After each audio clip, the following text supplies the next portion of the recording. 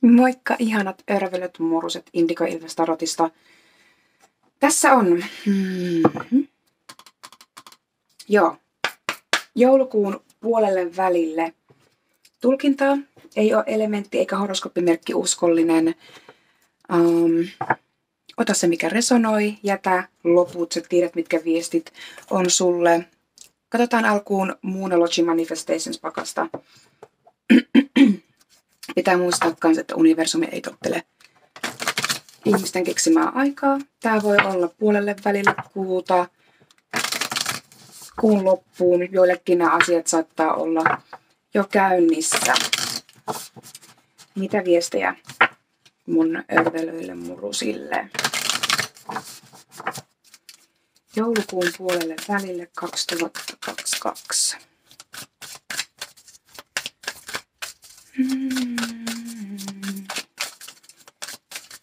Mitä viestiä murusille örvelöille?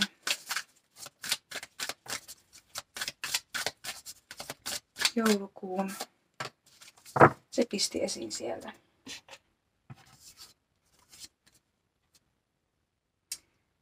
Viimeinen neljännes, kuun viimeinen neljännes ravussa.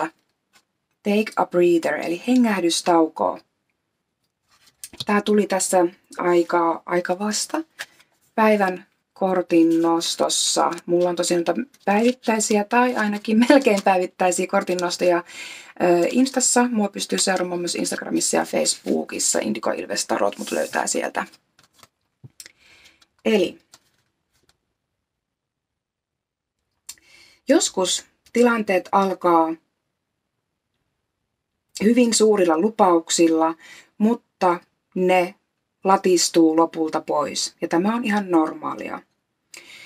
Jos joku tilanne sun elämässä, mitä olet käymässä nyt läpi, tuntuu laahaavan ja ihmiset, jotka tähän liittyy, on jotenkin liian herkillä, niin nyt on aika ottaa hengähdystauko.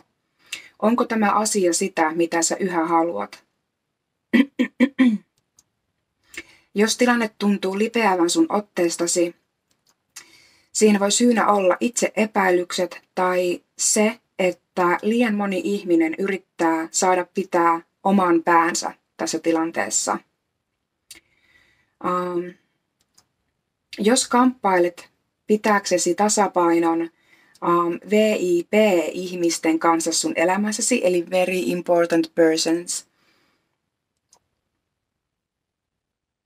tai joidenkin ammattimaisten tai henkilökohtaisten yhteyksien kanssa – nyt voi olla aika näyttää sun todelliset fiilikset asiasta. Manifestointi miksi? Täällä saattaa olla tämmöinen yhteenotto tai törmäys, joka johtuu siitä, koska jokainen haluaa johtaa tilannetta. Eli tälle tilanteelle täytyy nyt antaa ilmaa, ilmaa olla ja ilmaa hengittää. Manifestointi mindsetti. Sun täytyy pysähtyä ja elpyä. Emotionaalinen uupumus on yhtä vaarallista kuin fyysinen uupumus, jos se tulee tai jos se jatkuu liian pitkään. Näe elämän kauneus raikastaaksesi ja elvyttääksesi sydämesi. Ja manifestointi affirmaatio Love is all there is and I am love. Eli rakkaus on kaikki mitä on ja minä olen rakkaus. Hengähdystauko johonkin tilanteeseen, mihin mä laitan tämän. Okei, se on siellä. Hengähdystauko jossain tilanteessa. Moni haluaa ehkä, tulee mieleen sauvojen vitosen fiilistä, missä jengi haluaa pitää päänsä, kaikki haluaa pitää päänsä, kaikki haluaa tehdä asiat omalla tavalla. Ja sitten se nostattaa vaan äkäsyyttä, äkäisiä ihmisiä, eikä tilanne etene yhtään minnekään. Katsotaan Deviant Moon tarot-pakasta.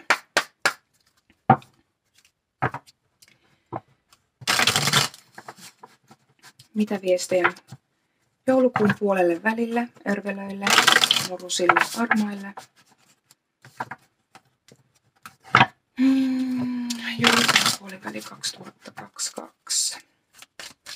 kohta vaihtuu vuosi. Mitenköhän, mitenköhän pitkään menee vielä ensi vuoden puolelle, kun mä sanon vielä 22. Öö, sieltä hyppäs käänteinen sauvojen lähetti.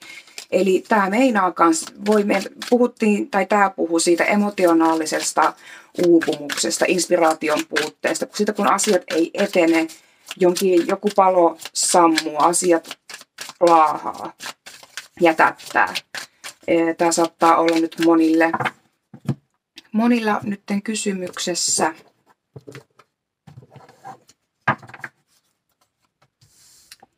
Ja joo.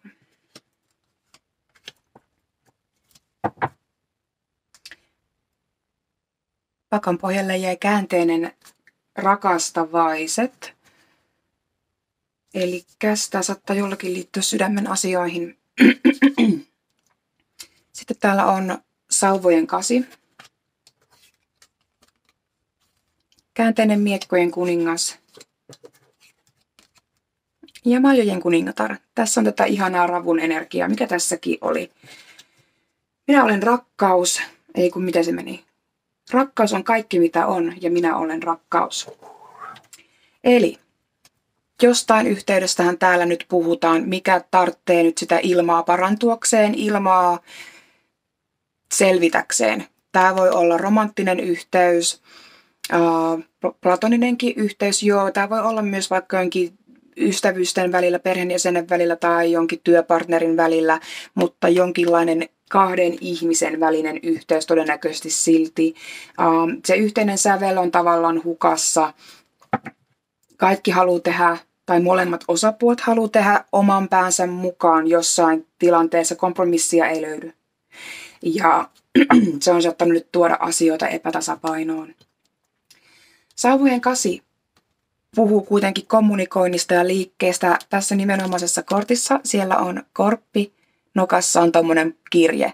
Eli jos sä odotat jonkinlaista kirjettä tai viestiä saapuvaksi, niin se saattaa tulla aika pian. Tämä oli ensimmäisenä korttina tässä, eli jonkinlainen viesti um, tai yhteydenotto saattaa tulla. Tämä puhuu myös niittämisestä. Yleensä mä en saa tästä, no nyt mä saan, mutta Savojen kasi, mä näkisin tästä viestistä, että joku nyt niittää, mitä on kylvänyt nimenomaan sanoilla. Onko sanottu pahasti, onko sanottu asioita niin kuin harkitsemattomasti. Ja nyt tämä tilanne saattaa, saattaa kummuta sieltä, että nyt niitetään sitä, mitä ollaan niillä sanoilla kylvetty. Keskiössä on käänteinen miekkojen kuningas, ilmaenergia. Täällä oli myös kaksoset rakastavat edustaa kaksosta, eli kaksoset vaaka vesimies.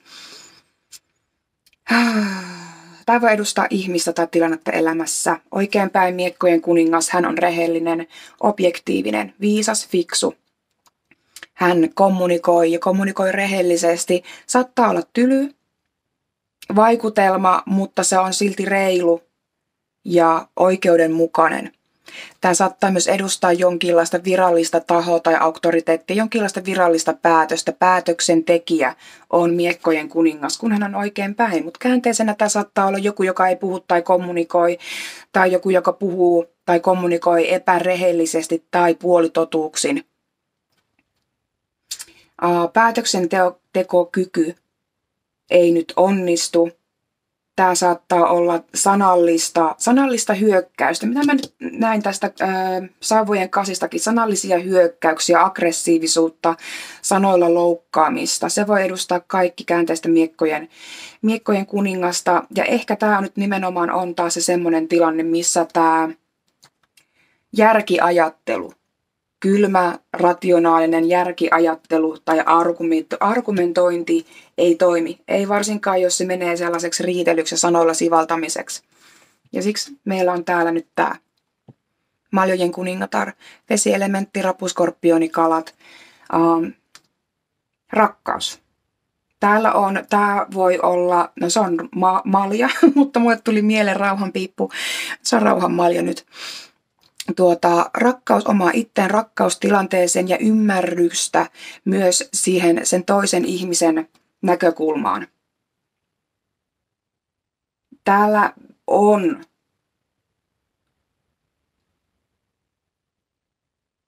ristiriitoja. Se puhutaan ehkä ensimmäinenkin kortti, että anna tilanteelle nyt niin kuin ilmaa, ota itse hengähdys, tauko ja muista se, että kaikki on rakkautta ja sä olet rakkaus. Eli rakasta ittees nyt ihan ekaksi, ihan eniten. Anna itselle, suo itselle se hengähdystauko, hengittele, ota etäisyyttä tähän tilanteeseen tai asiaan, eikä tähän yhteyteen. Ja sitten tarkastele asiaa, kun sä näet sen kokonaiskuvan vähän paremmin ja sitten sitä kuuluisaa ymmärrystä myös sitä toista kohtaan. Miten päin tämä tahansa meneekin. Tämä voi mennä myös toisin päin. Ehkä jonkun täytyy, uh, jollakin täytyy olla ymmärrystä sua kohtaan. Lähdetään katsomaan tätä. Sauvojen kanssa ikääntyinen miekkojen kuningas.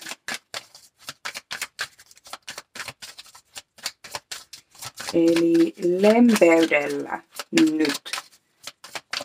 Puhumalla tunteet, tämä puhutaan tämä ravun kortti kanssa täällä sitä, että jos tämä liittyy erityisesti johonkin rakkaaseen ihmiseen tai sitten kumppaniin työssä tai missä tahansa, niin tota, nyt on ehkä aika puhua ne omat tunteet vilpittömästi, aidosti.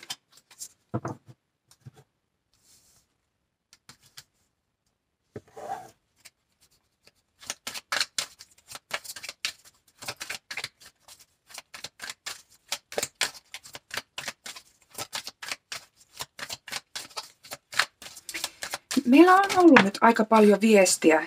Tota, no siinä se sauvojen vitonen nyt on, mistä mä puhuin. Ää, aika paljon viestiä näissä ää, yleisissä tulkinnoista näistä sanoista. Jotenkin näistä sanoista. Ja samalla linjalla jatkuu um, sauvojen kasin ja käänteisen miekkojen kuninkaan väliin tuli sitten miekkojen kasi. Ja tämä nyt saattaa meiltä tästä sellaista noidankehää, mm, ahdistusta, jotain tilannetta, mikä nyt vaan on täysin perseestä. Miekat edustaa mieltä, ajatuksia, myös sanoja. Joku on saattanut luoda ajatuksista tai sanoista, tai on ehkä tilanteen ympärille luotu joku tämmöinen kehä, mikä toistuu. Täällä on kaksi kasia. Kasit meinaa myös tätä niittämistä ympärikäyden yhteen tullaan, tätä jatkuvuutta. Joillekin tämä saattaa olla tämmöinen toistuva kaava, mikä tapahtuu, eli liittyen näihin sanoihin tai riitoihin tai loukkaamisiin tai ihan vaan tähän epätasapainoon sovita tämä siihen sun omaan tilanteen, mihin tää sulle, ti- tilanteeseen, mihin tämä sulle sopii. Mutta miekkojen kasi puhuu nimenomaan semmoisesta toistuvasta syklistä, noidankehästä, joku tilanne, mikä aina toistuu ja ruokkii itteensä. Ja käänteisen miekkojen kuninkaan ja maljojen kuningattaren väliin tuli hallitsija. Ja hän on ihan oikein päin. Tässä on nyt maskuliinienergiaa. Um, Tämä puhuu taas johtamisesta. Hallitsija oikeinpäin. Hän on hyvä hallitsija. Hän johtaa rakkaudella, lempeydellä, ymmärryksellä. Hän on kunnianhimoinen, intohimoinen sen puolesta, mitä hän tekee.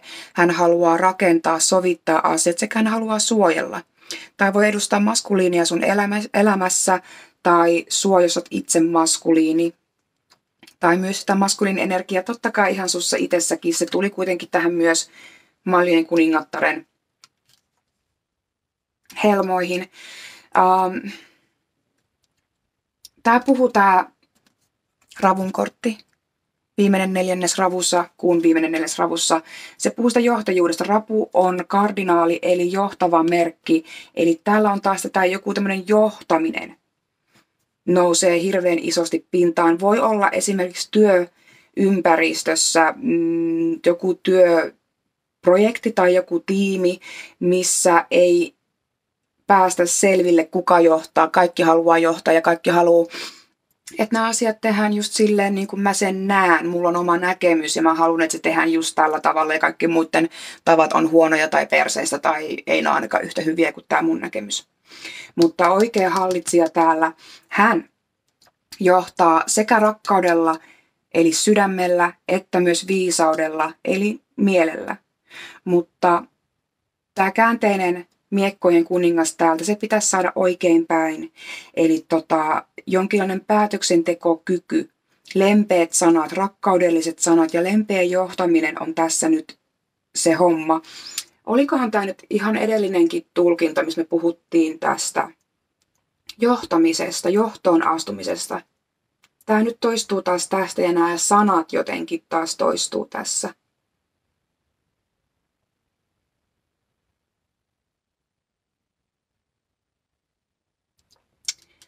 Käänteisen pyramidin kärjessä on kuitenkin, siellä on nyt sauvojen vitonen, minkä mä vähän näin, mutta se on onneksi käänteisenä. Eli tämä solmu on aukeamassa ja se on täysin avattavissa, mutta tämä toistuva kaava, tämä noidan kehä, se pitää särkeä ja se saadaan särettyä sillä oikeanlaisella johtamisella otetaan, ja oikeanlainen johtaminen, se ei nyt tarkoita tässä sitä nimenomaan sitä, että no niin, eli mun pitää johtaa, koska mun tapa on oikea, vaan se, että otetaan askel taakse, hengähetään, rauhoitutaan ja sitten, että no, mikä sun mielestä tämä homma on ja miten sä halusit tämän tehdä, miksi. No okei, okay. ja mun näkemykset on tässä nämä hallitsija johtaa sillä tavalla, hän ei voi vaatia, että häntä seurataan sokeasti, vaan oikea hallitsija saa ihmiset häntä kuuntelemaan ja seuraamaan sillä mulle tulee mieleen paimen. Se on ehkä nyt vähän väärä, väärä vertauskuva, mutta sillä ymmärryksellä täällä voi olla yhteys, missä on ihmisiä, jotka on tosi voimakas tahtoisia ja niin kuin alttiita räjähtelemään ja alttiita olemaan uh, johtajia, ottamaan niin kuin sen johtamisen omiin käsiin, mikä onkin tietysti hyvä. Ja tästä mun mielestä, että oliko se joulukuun alun tulkinta vai oliko se tämän täydenkuun tulkinta? Niin tota, siellä puhuttiin tästä, että pitää ottaa se johto omassa elämässä totta kai, mutta nyt nousee pintaan se tarve sille, että otetaan ne muutkin huomioon, ketä siihen tilanteeseen liittyy. Tämä solmu on avattavissa. Sauvojen vitonen, kun se puhuu siitä, että ylikunnianhimoisista ihmisistä ja siitä, että eri päämäärät taistelee toisiaan vastaan, tai vaikka päämäärä olisikin sama, niin se toteutus, ne toteutukset taistelee toisiaan vastaan. Ja silloin siihen tulee semmoinen epäterve kilpailuasetelma, kun pitäisi taas puhaltaa siihen yhteen hiileen. Mä katson tässä tätä korttia. Ne flydaa tuossa noilla sauvoillaan, ja sitten täällä on täällä taustalla tämä sauvojen S, itsessään, itekseen yksinään unohdettuna seisomassa se meinaa sitä kipinää yhteen hiilen puhaltamista, uutta alkua, action, sitä oikeaa oikeanlaista tekemistä, uutta alkua. Eli astu taakse, hengähdä, puhu, miltä susta oikeasti tuntuu, uh, lempeästi, ymmärryksellä, rakkaudella. Koska ne sanat tai teot, mitä on tehty, sä joudut sitten niittämään niitä myöhemminkin, aina tulevaisuudessa ja vasta. Oli ne sanottu sitten käänteisen miekkojen kuninkaan tavalla vai maljen kuningattaren tavalla.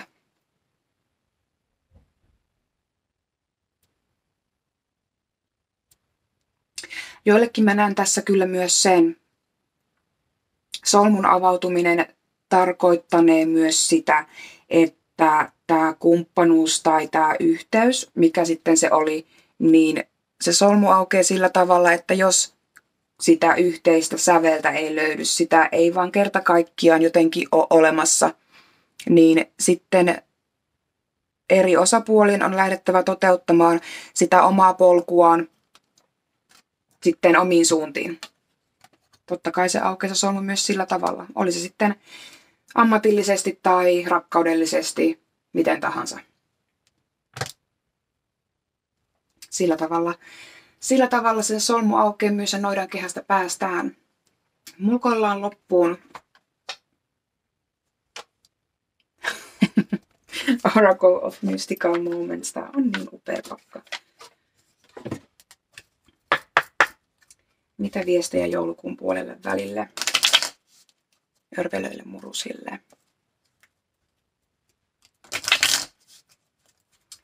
Joulukuun puoli väliin 2022.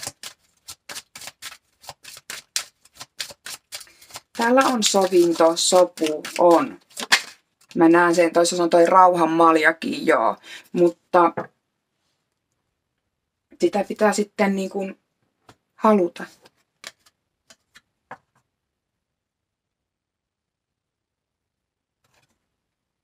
Liberty. Vapaus, vapautuminen. Kattokaa nyt näitä kuvia. Kattokaa niitä, ne on niin upeita. Numero kakkonen. Ja hän puhuu valinnoista, itsevarmuudesta, irti päästämisestä. Tämä kortti näyttää naisen. Mm-hmm. lintuhäkki roikkuu hänen hiuksistaan. Ja hän on aikeissa vapauttaa siivekkään ystävänsä yöhön. Tähdet ja kuu ovat ohjaamassa pienen linnun matkaa.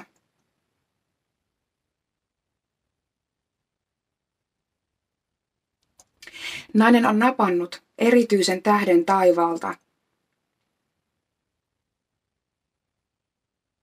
auttaakseen paimentamaan lintua matkallaan. Puhutaan, täällä on shepherd, eli paimen. Mä puhuin sitä paimenesta, paimentamisesta – Nämä käy niin hienosti yhteen. Tämä kortti edustaa vapautta, joka sinun täytyy valita sinun omassa elämässäsi. Älä anna toisten päättää puolestasi.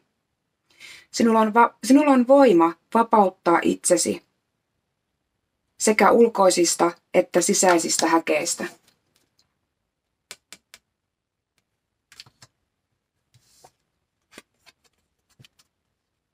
Monet obstakkeleista ja vaikeuksista ja vastustuksista, mitä me kohtaamme, ovat meidän itsemme luomia. Kun me ymmärrämme, että me olemme luonne, luonneet ne, meillä on myös voima päästää niistä irti. Tämä nyt, tämä, tämä nyt taas sopii niin ihan kauhean hyvin tähän koko tulkintaan. Eli täällä on tämä noidankehä, häkki, ansa, solmu itse luotu, itse tehty, monet, ei tietenkään kaikki, mutta niin kuin tämäkin sanoi, monet näistä ulkoisista tai sisäisistä, sisäisistä häkeistä tai ansoista tai kahleista, ne on jollakin tavalla meidän itse luomia. Ja kun me ymmärretään, että me ollaan luotu ne itse, niin me pystytään myös vapautumaan sieltä. Irti päästö. Mä näen tässä nyt aika selkeästi kaksi vaihtoehtoa. Jonkun on aika päästää joku toinen menemään, vapauttaa toinen tai aika vapauttaa itse itsensä kulkemaan sitä omaa polkua. Ketään ei pysty pitämään siellä häkissä. Tämäkin on avannut sille tuon häkin oven ja se paimentaa, se ohjaa sitä tuolle erityisellä tähdellä, minkä hän on napannut taivaalta. Mitä se vapautuminen on? Vapautuminen noidankehästä, vapautuminen kulkemaan, kulkemaan sitä omaa tietä, seurata vaan sitä omaa polkua, omaa johtajuutta. Mikä se sun vapaus on, mitä tämä kortti edustaa sulle? Kuka on lintu ja kuka on toi nainen? Kas siinä pohtimista. Kiitos, että jaksotte taas mulkoilla mua. Te olette ihania rakkaita murusia jos olet tilannut vielä kanavaa, niin tilaile, heitä kommenttia, pistä peukkua ylöspäin, se auttaa mua ihan hirveästi, eikä maksa sulle yhtikäs mitään. Mua tosiaan voi seurailla Instassa ja Facebookissa Indigo Ilves Tarot. Sinne tulee juttuja, mitä ei tule tänne YouTubeen. Erityisesti aktiivinen mä oon tuolla Instagramin puolella. Pitäkää huolta, te olette mulle äärimmäisen rakkaita ja me nähdään taas. Moikka!